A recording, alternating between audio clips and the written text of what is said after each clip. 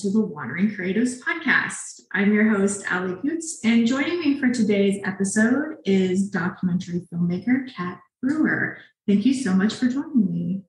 Thank you for having me. I'm super excited. Super excited to talk to you. Likewise, I am so pumped to have you on the podcast, and it's it's funny because I like every single person that I've been talking to here in Wilson, North Carolina was like, "Oh, have you met Cat Brewer. Do you know Cat? What about Cat? You should have Cat on the podcast. And I'm like, who is this person? What are they doing? Like, I, you know, I got to figure it out. And we were finally, we kind of like bumped into each other. Yeah. Um, at the at, at, the edge. At the edge. Yeah. And I was like, this is the person that everyone has been telling me to meet. so I was, I, you know, ecstatic to be able to connect and have you on pod. And thank you. Now I know why everyone was saying that I had to have you on.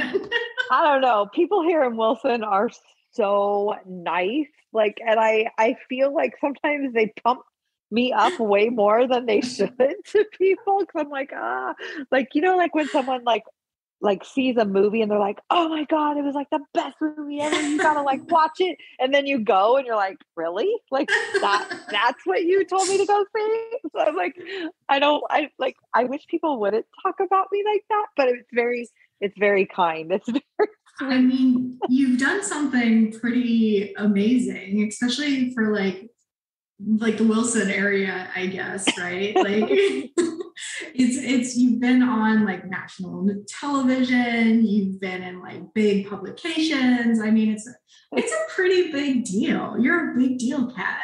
oh, just in your perception. So to, to, to kind of let our listeners know, Cat, you you have a really fantastic story and this experience that you've um, had over the last like seven plus years of filming and making the documentary Sign the Show, which focuses on deaf culture, access, and entertainment. And I am really excited to learn more about filmmaking experience because I'm sure like seven and a half years is a long time yeah. to be like out on the road interviewing people and like really immersing yourself in deaf culture, which had to be an amazing experience to have. So yeah, um, definitely. I just can't wait. And like I watched the trailer on your website. It gave me like goosebumps, and I, I like. I have goosebumps right now just talking about it it's a really inspiring story that you are covering and telling. So it's Thanks. yeah. I can't wait to just learn more and then also to be able to stream the documentary when it yeah. You and me both. So to get started, share with us um, a little bit about what Sign the Show is about. So the film is about the challenges and barriers that the deaf and hard of hearing community face when trying to access or get access to live entertainment. And I focused live entertainment on comedy, music, and theater. And I, I do that in a way that's hopefully educational, it's hopefully lighthearted and, you know, may make you laugh, may make you cry, but my whole goal really is to educate with my film and to hopefully make access to live entertainment easier for this very much underserved population. I think only in the last couple of years is we've maybe seen a little bit more of interpreters and things like that at concerts but yeah.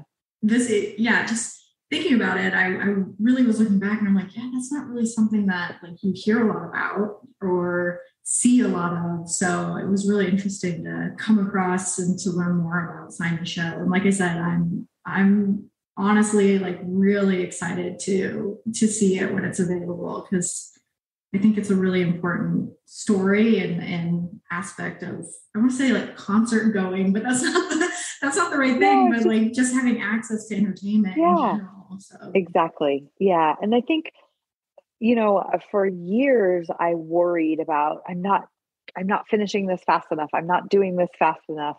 It's not going to get out fast enough.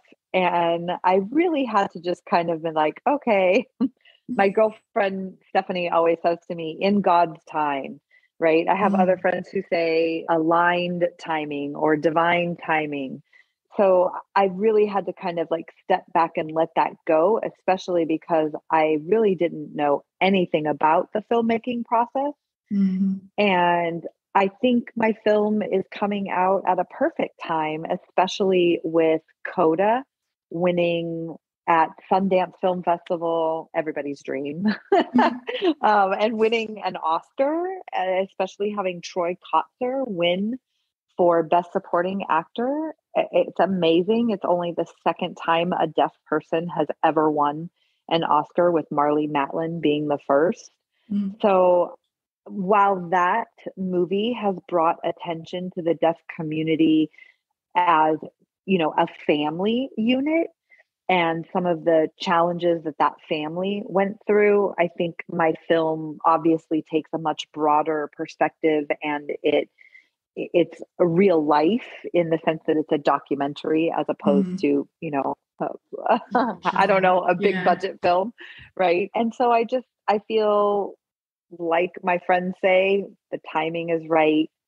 It's going to happen. And i just have to keep having faith in that sometimes my faith wavers a little bit but i just keep moving forward just keep moving forward yeah, and I, I, do I do think yeah, like the timing because again in the last couple of years we've seen movies like what The Quiet Place. What was the other one? Sound of Metal. Yes, so there's been like a, a little bit of an increase in kind of mm-hmm. visibility of, of hard of hearing folks and, and deaf culture and, and, deaf people. So yeah, I think your show or sign the show will kind of be like the the cherry on top because I think people well I think people forget like you know hard hearing people or deaf people still enjoy the things that everyone else enjoys, which includes yeah. music yeah. Um, and comedy and just entertainment in general. But I don't think that's anything that's really been explored or talked about before. So I think your documentary, like you said, it's come along like at the right time. There's been this uptick in kind of visibility. Yeah. So I'm I'm excited to see like I'm I'm yeah, I'm going to be watching it just take off because I fully believe that it will. From your lips to the universe's yeah. ears. you just got to put it out there, put it out yes. in the universe. And so I'm kind of curious, like, what was it that inspired you to start this journey seven plus years ago? Was there a, a moment or an incident that just like yeah. spoke to you and you had to do yeah. something about it? Yeah, so I'm I'm going to be 51. By the time this airs, I will be 51 years old. and I've been attending concerts since I was about 8 years old, mm. maybe even a little bit younger. I've always loved music. And throughout my entire life, music and comedy have always gotten me through life, like the mm-hmm. joyous times and also the really tough times. And in 2014, I went to a concert. Uh, it was Gavin DeGraw. And I was just like, oh, I love him, love him, love his music. And for the very first time, I saw a sign language interpreter mm-hmm. interpreting the concert, signing the show. And I was, my, I think, like most hearing people who've never seen a sign language interpreter at a live performance, my mind, my head exploded. I was like, "Oh my gosh, what is going on?" I mean, I knew what was going on, but yeah. I was like, "I want to know. I want to know what she's what she's signing."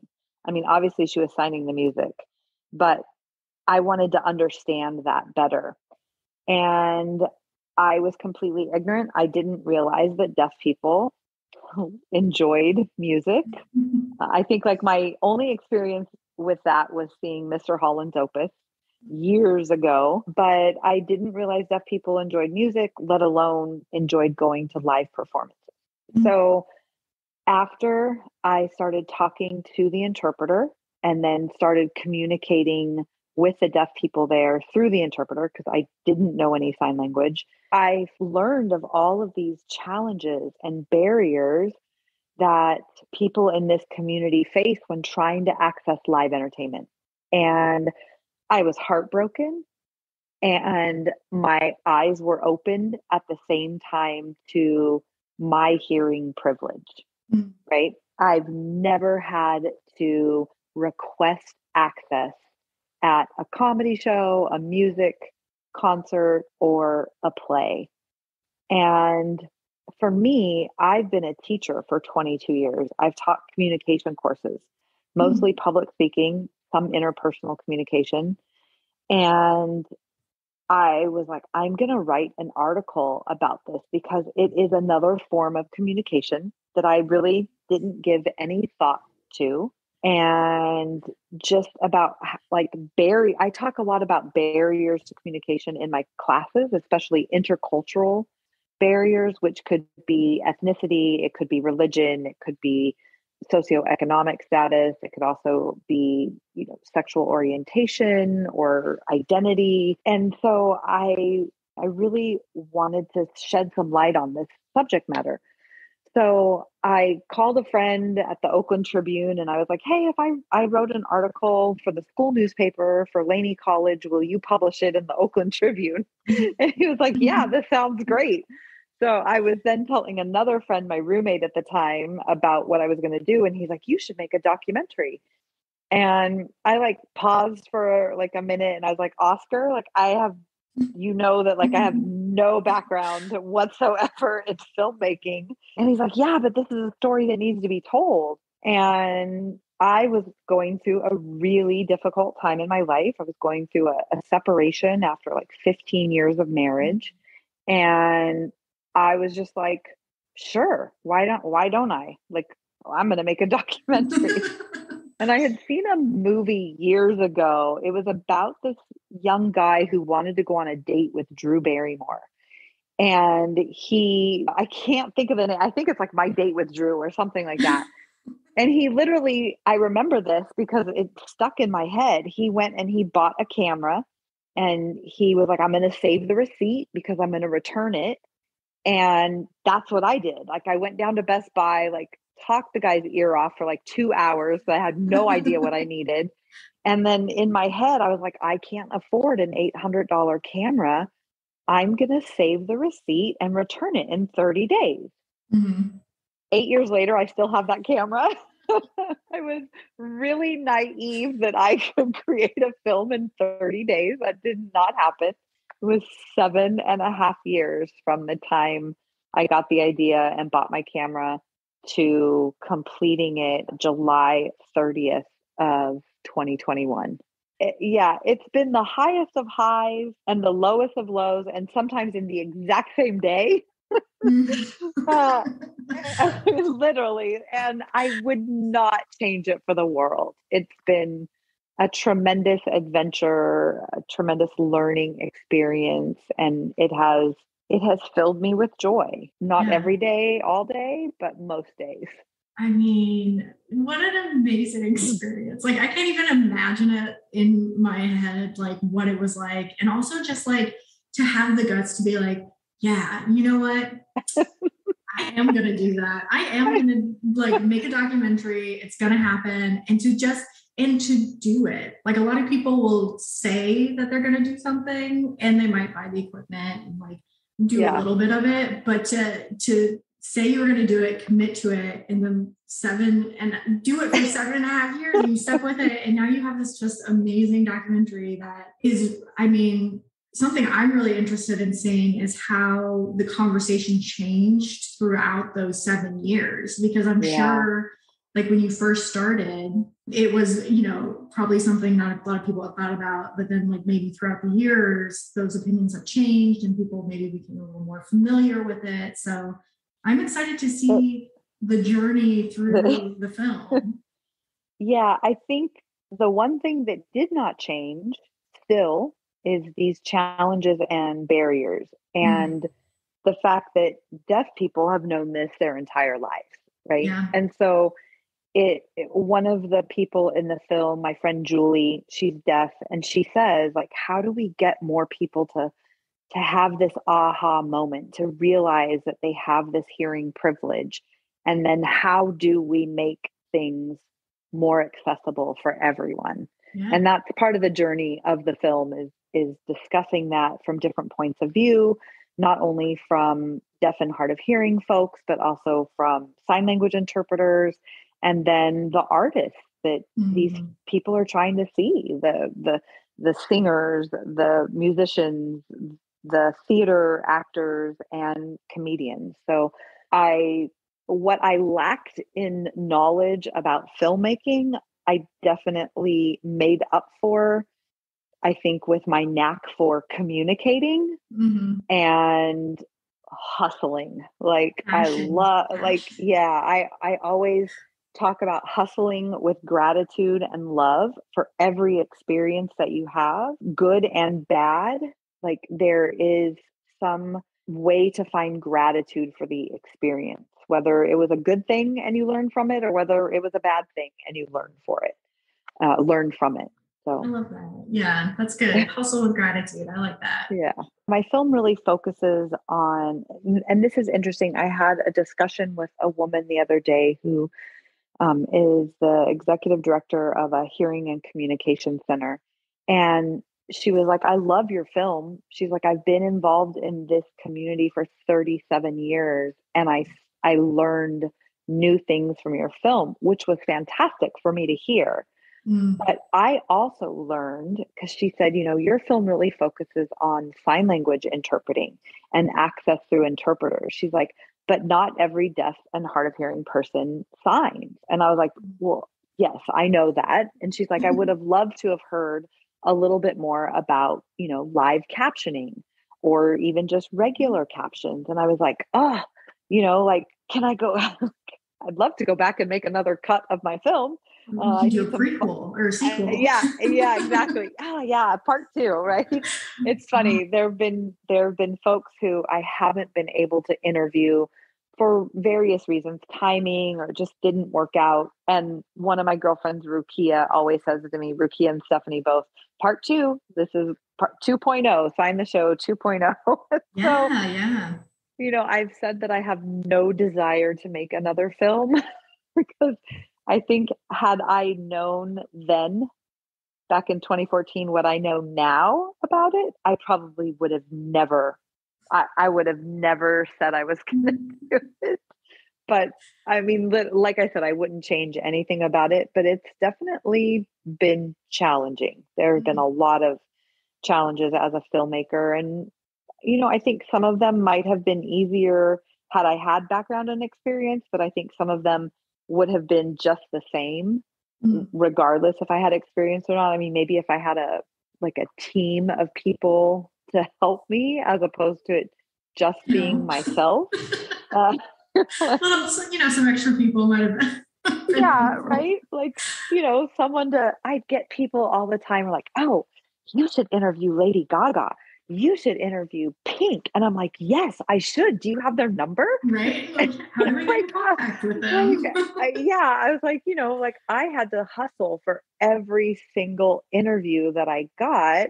And and some of that was like, don't get me wrong, like I DM'd Lady Gaga, I DM'd Pink, mm-hmm. I tweeted these people, but that's how I got a lot of my interviews was messaging on Instagram, messaging on Twitter, you know, these people didn't know who I was. Uh, Power of social media. Yeah, it's... sneaking backstage at concerts. And for me, that was like where I lived at the time in the Bay Area. It, it, was fertile with music and comedy. There's an amazing comedy scene in San Francisco, great music scene in Oakland and, and the Bay Area. And so, you know, like I went where I could, where I could easily drive, you know, 40 minutes or whatever wait back, you know, wait outside of a comedy club and try to ask someone, hey, can I get 30 seconds of your time? Here's my elevator pitch. Will yeah. you do this?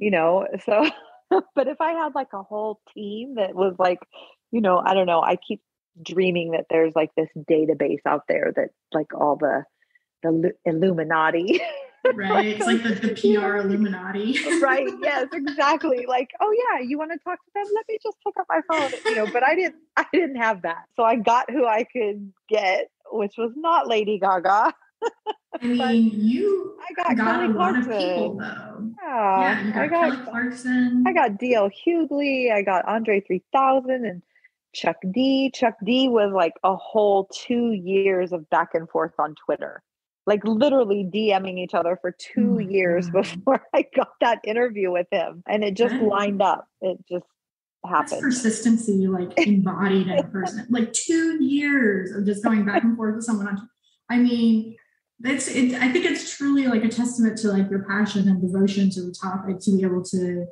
to do that. Like you said, you hustled hard for like seven and a half years. Yeah. And got, I mean, you really got some amazing Thanks. interviews. Like I was, yeah. I was looking at everyone that is included in the documentary, and I was like, holy shit! like, yeah, I like it. It's funny because there's there's two people in the film. One of them is she's an interpreter.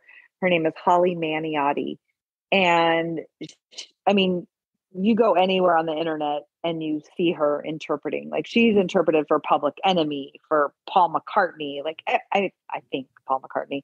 Mm-hmm. I mean, literally everybody. And I didn't know her, and I kept trying to reach out, trying to reach out, and then she like wouldn't reply, wouldn't reply, wouldn't reply, and finally, I was like, I don't know how it happened, but I finally. Mm-hmm.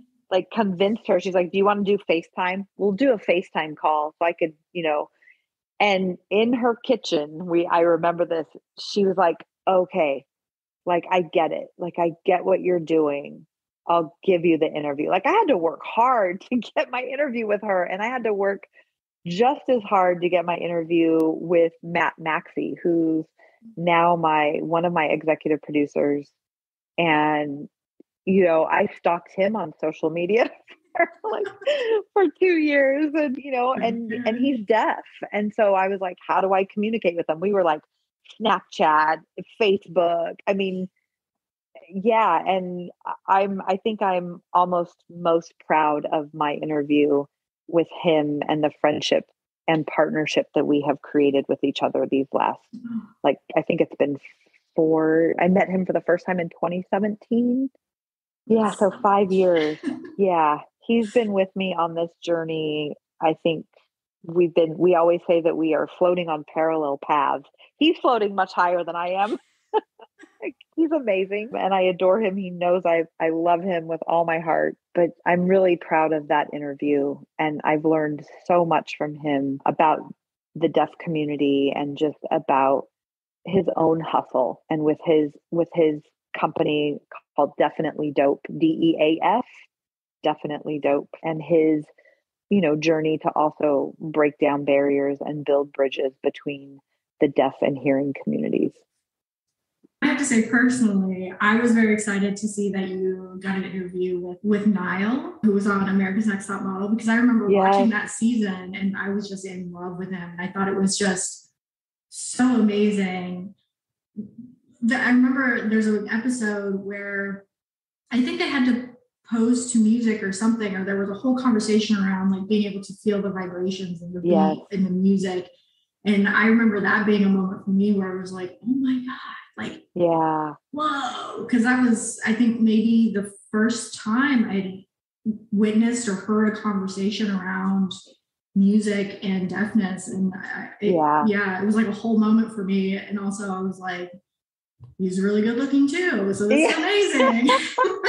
yes, and he is just as good looking in person as he is on television. And I actually interviewed him down in LA before they even announced the winner of America's oh, wow. Next Top Model. So he was still in that process, like still going through it and couldn't talk about it at all. But mm-hmm. I snagged that interview with him pretty early on pretty early on in the in the filmmaking process. Yeah. That's amazing. I mean, what a wild ride. Like I said earlier, I mean, you have been able to interview some amazing folks, but then you yourself have been interviewed on like you were you were featured. This was with Kelly Clarkson.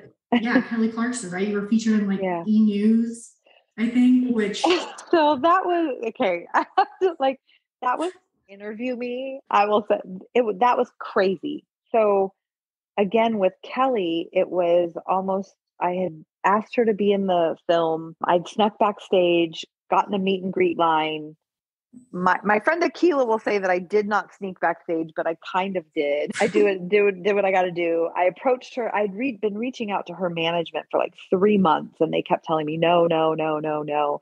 So then I was like, I just can get to her face to face and ask, and I did, and she was like, yes, contact my management company, and I was like, but I have for the last three months, and they've told me no, and she was like, no, you tell them that I said so. And I was like, oh my God, okay. So I like almost a year later, I went, flew to Nashville.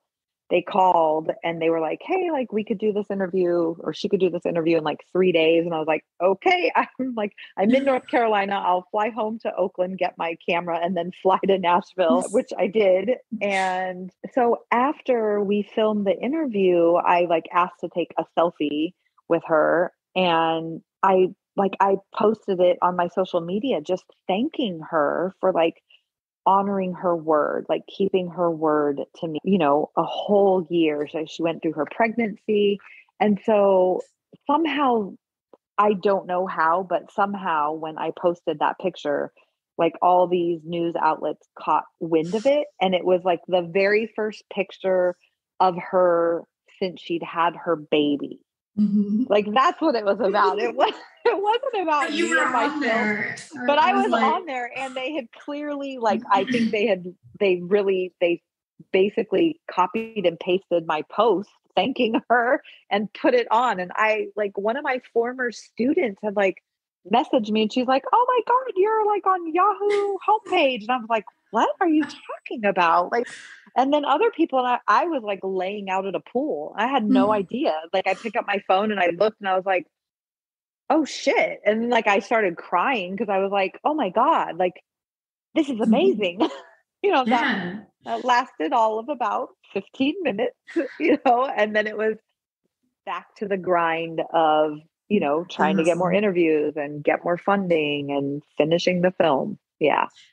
Yeah, to, to talk a little bit about your filmmaking journey because this was your first everything. Like yeah. you, and, yeah. and, did you do like the because you obviously you did the, the filming yourself, you did the booking yourself. Did you also like when it comes to like the editing? I laugh because I really had no clue. I really so uh, so yeah uh, so I did I did almost all of the filming I did, there was maybe like 6% of the filming that I didn't do. Like one time I couldn't make it to South by Southwest Festival where Matt and Holly were presenting on a panel. So I hired one of Matt's friends to film it. I hired one of my former students to film because I know he was in filmmaking, Malik, and he couldn't do it. So he referred two of his friends. But yeah, I filmed everything. And you can, it's gritty we like to say some of the footage is gritty. You could tell the very first interview that I did with Michael Franti compared to the last interview I did. I was like, oh, yeah, I finally figured out how to work a camera, right? Or lighting or sound. And it's funny when I first hired and like social media, I know people complain about it and it definitely has its dark corners. But for me, social media has been an amazing resource for this film. So there was, can I, if this story gets too long, Allie, please feel free to edit it out. But I think that this is, it's either a story of the power of social media and how the universe connects people. So I had no idea where to start looking for an editor. This was in 2019. And thanks to the guy who ghosted me in 2019 after dating me for a year, because that was oh, kind oh, of the no. impetus for no, it's all good. Everything works out for the best. We're friends now. but he ghosted me and it lit a match. It lit the fire to be like, okay, next. Okay, anyway, I digress. So hmm. I had no idea where to go for editing when back in the day there used to be a TV show called Undateable produced by Bill Lawrence who produced Scrubs and Cougar Town. Oh, and I was infatuated with this TV show. It was basically like comedians. It was like Brent Morin Ron Funches Chris D'Elia Bianca I can I never can pronounce her last name. But anyway it's just an amazing cast. Rick Glassman they're all comedians. So they kind of like impromptu uh, like improv off of one another. Uh, so I would go down and watch tapings of this show because it brought me so much joy. And I just, I loved the cast and the producers. All of them were amazing. Bill Lawrence now does Ted Lasso. Oh, nice. So yeah, he Kip Kroger. Ted, these guys are amazing. So I would go down and just you know be looking at them, and so somehow like befriended them on Facebook. so when I was looking for an editor, I was like, I have no idea where to start. And I was like, well, I know Bill Lawrence on Facebook. So I'm going to like look through his people, look through his friends and see who's an editor because I have no idea. And I found this guy. Yeah. like I found this guy named um, Damon Gordon, who's no longer here. He passed mm-hmm. away December 2020. But I found his profile. We connected on Facebook Messenger. And I was like, I don't know what to do. Can you help me? Can I hire you? Like, what? I, I have no money, but can I hire you? and um, he was like, I'm going to send you five reels and you tell me who you like the best as far as editing. And I was like, okay.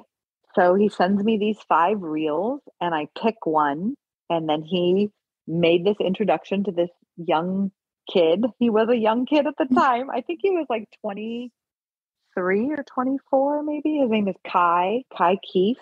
And Kai was like, Great, I'm in. Let's do this. We had like a whole, we had like a team meeting. And he's like, Do you have like a, not a storyboard, but I forget, I don't even know what the name of it is. Like, you know, baby, basically, do you have like a screenplay or what? Not a screenplay. I can't see. Like a, like a supercut or something of the. Or like, do you have, I, I don't want to use the word outline because he didn't ask for an mm. outline, but he wanted like, do you have an idea, of a storyboard? We'll just use that word, a yeah. storyboard of the film. And I was like, no, but I'll get you one. so I had no idea what this is. I Googled it and I was like, I can't do this. I don't. So, what I basically did was I used an outline format for a persuasive speech by, it's called Monroe's Motivated Sequence. All of my students, my speech students out there, I use Monroe's Motivated Sequence to put together a rough draft outline, like in two days, to send it to my editor. And then I sent him 55 hours of footage on a hard drive and that was it. And I was like, here you go, Kai. Luck. like, I'll take a look at this and, you know, get you a string cut or, you know, rough cut, whatever. And I was like, okay. And I tell him this all the time. He knows I say this about him. He literally was my angel because he sent me back a cut. And the first cut was like maybe two hours long and I just started crying. Like I was like, "Oh my god, he gets my vision." And like I saw it. Like I saw it come to I mean, it's a it's a it's very different from that first cut to this last cut, but he has been true to me and my vision and he has the patience of a saint. Yeah, and we so we worked together from 2019 to 2021 just over Zoom and going through cut after cut after cut and editing and editing and editing. And then I finally got to meet him in 2021 in July. He flew out to Los Angeles to be in the studio with me to to finish the film and I I wouldn't have wanted to share that with anyone but him and Matt who'd been on the journey with me. Yeah, it was incredible. Uh, like I had That's no so idea. I had people were like, "Do you have a line producer?" And I was like, "I don't know what that is. What is?" like, someone to do your budget. Well, I never had any money to do a budget. Now I have some money, so I guess I'm hiring a line producer. like, thank you, Sonia. Um, you need a what was they called? A post production supervisor. I have no idea what that is. Let me figure that. Like, it was all these little weird connections. You need to hire someone to score the film, and I'm like, fuck. Like, yeah, it was literally baptism by fire, I guess, or I love it. I'm I'm I mean, I am always so impressed. I've, I've interviewed several filmmakers and I'm I'm always so impressed by just like I don't want to say like the balls, right? So just like yeah, because you like throw yourself in there, you kind of like pour yourself into this project and you know sometimes it takes years sometimes it's like yeah. oh we have two weeks to shoot an entire movie like let's go and yeah. then you have to like you said it's like trial trial by fire like you have to figure out like okay so i've got this film i've got to edit it the score now i've got to try to like get distribution which is like a huge issue for indie filmmakers yes. like that's yeah probably like the number one thing with talking to filmmakers like they're all like yeah it's great we're on the we're doing the festival circuit but now it's distribution and that's something that like not a lot of people talk about and they don't really like teach you about when it comes to filmmaking is how to yeah. get it out there now that you yeah. it so i imagine yeah. you're coming up on that again from your lips to the universe's ears right my whole goal when i started this so like i said i've been a teacher for 22 years i've been an adjunct teacher for 22 years there's a big difference here, which means I'm part time. Mm-hmm. I don't get the same pay as my full time counterparts, even though I teach the exact same thing and the exact same mm-hmm. load. I'm not bitter at all. I'm just pointing out some of the disparities, right? I don't, I like have to pay for my benefits if I get them, if I'm given enough classes to teach. I don't mm-hmm. really get the same kind of pension. So, why did I bring that up? Because you were saying distribution, right? So my goal was that I wanted to take this film on a tour. Of mm. my my first thought was like I want to go to different college campuses, show the film and talk about accessibility issues. And I want to do this not not just me because this isn't my experience, right? My experience is creating the film, mm. but I want to bring my friend Matt with me and I want to bring an interpreter with me and I want to bring, you know, another deaf person for my film, my friend Julie. Like I just want to tour with this and teach, right? Like that's what like this was just another opportunity, a different platform for me to continue my passion of teaching and mm-hmm. educating. Mm-hmm. I mean, that's really, you know, and if I could make some money along the way, because I was like, oh, I know that people will provide a stipend for someone if they like go speak or whatever like okay well it's got to be more money than you know making the as a teacher right now and so i mean literally right now i have five jobs i have like five part-time jobs i'm i'm a bartender part-time i teach fitness classes part-time i teach part-time i do the film yeah like uh, you know and I love it. I love it all. But yeah, so distribution is like maybe a one in a million shot. I, it's kind of how I look at it. So if I get it, I'll be thrilled. But if I don't get it, I'm not going to be devastated. Eventually, it'll get out there to the mm. masses, mm-hmm. whether I have to release it on YouTube, which I'm fine doing, but I can't do that until I'm off the festival circuit. So festivals are very proprietary, like it can't be viewed for public consumption. You know, I can't stream it on YouTube and be accepted into a film festival. They're like, oh, no, no, no, the masses have already seen it. We're not going to accept it into oh. the film festival. Some festivals are like, it has to be a world premiere or it has to be a premiere in this specific state or in this region. so, yeah, so sometimes you're disqualified from festivals if you've premiered elsewhere. Uh, it's that's been also really kind of tricky and a and a learning experience for me. So yeah, I mean the goal, yes, I would love to get distribution on Netflix, Hulu, you know, Apple. Hey Apple, you've been a lifetime user. It was matched really well with Coda, right? So yeah, but I'm not going to let that deter me if a big platform streaming platform service doesn't mm-hmm. pick it mm-hmm. up. I'll I'll figure it out like I've been doing for the last 8 years. I'll figure no, it out. Wonderful. and and I guess speaking of the the festival circuit, how, how has the initial kind of response been yeah um, to the film? Yeah, so it's screened at two festivals so far. It premiered in Santa Fe, New Mexico, and it was really interesting contrasting that experience with the second festival, which was Athens, Ohio, just a few weeks ago. Mm. Santa Fe, the it, it screened one time. The audience was predominantly deaf and hard of hearing, and it was received really well. It was like, thank you for telling our story. It, it, was an interesting experience at that festival in the respect that there were some deaf attendees who asked the festival if any of the films were captioned mm-hmm. so that they could go and watch other films. And they were told no. We didn't have interpreters at some of the other events. So I chose not to go to the red carpet I chose not to go to the filmmaker luncheon because it, mm. it wasn't fully accessible. Yeah. The building, the building that they screened it in actually wasn't um, wheelchair accessible. So I had a conversation with the festival producer about the whole kind of experience. And I'm going to be really honest. So, Stephanie, if you are listening to this, you know, I thought that during that initial conversation, like uh, she's like, oh, we're going to make some changes. This has been a learning experience. And I'm just, this woman is telling me what she thinks I want to hear to get me out of her office. Mm-hmm. And five days after the festival closed, maybe less than that, she sent me an email and she was like, hey, just wanted to let you know we're going to make some changes, you know, to the the 2023 festival.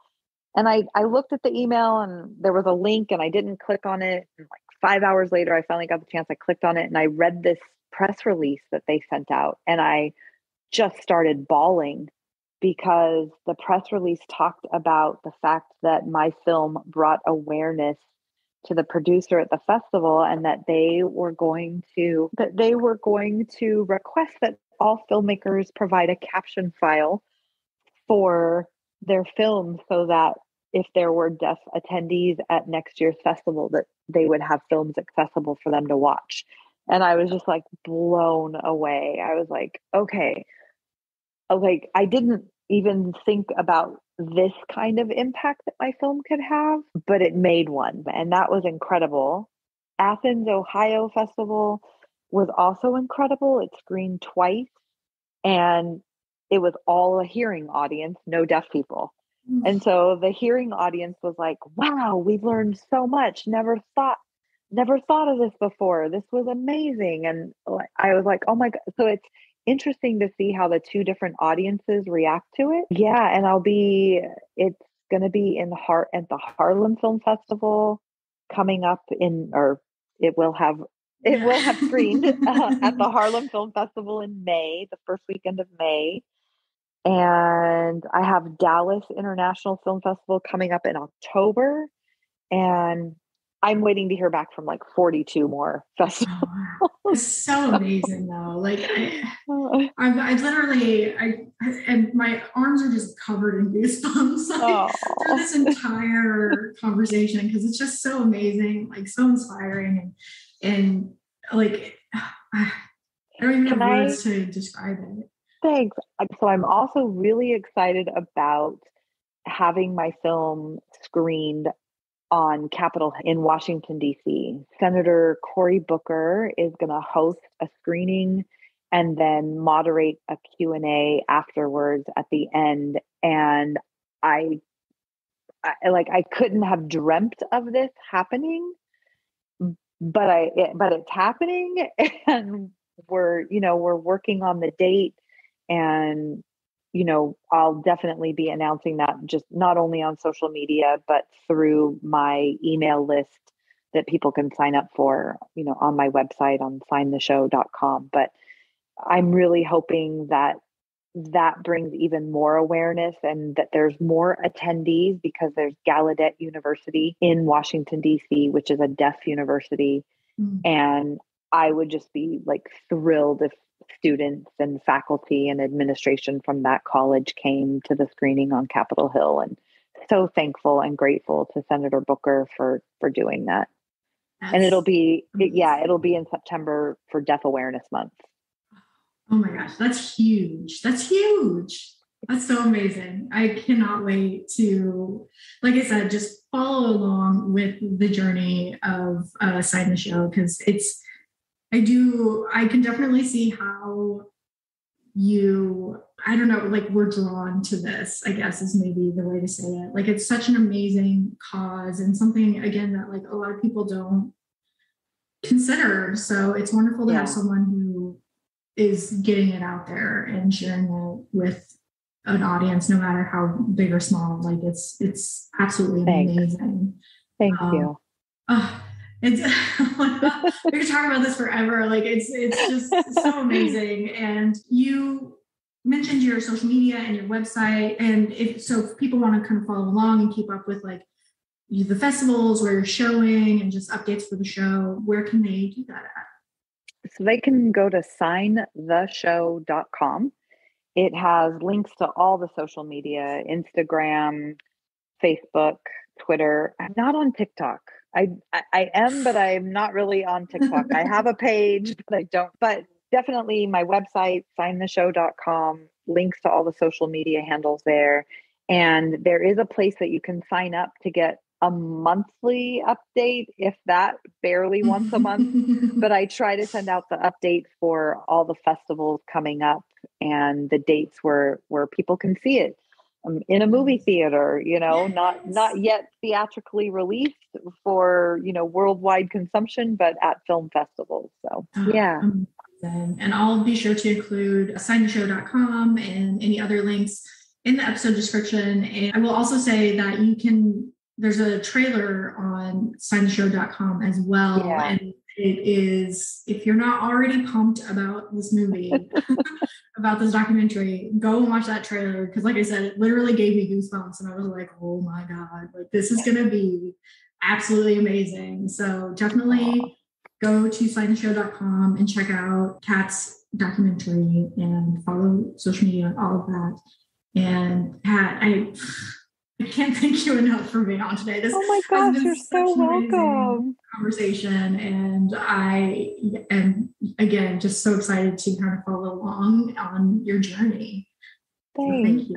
Listeners, thank you so much for tuning in today. If you have questions or comments for any of my guests, including Cat, you can text or call us and leave a voicemail at our hotline, 252 419 6004, and we will include answers to those questions on a future episode of the podcast. So, like I said, if you have questions for Cat, definitely give us a call, leave a voicemail, send us a text, and we will put together some answers to those questions. And be sure to like, rate, review, subscribe, all that good stuff to the podcast. And we will see you on next week's episode. Thanks for listening to the Wandering Creatives Podcast, a CEI media production. Please like, rate, review, and subscribe to the podcast as it helps us greatly. You can follow us on Instagram at Wandering Creatives Pod and on Facebook at Wandering Creatives Podcast. If you would like to support the podcast, you can become a Patreon for just $5 a month. The link is in the episode description.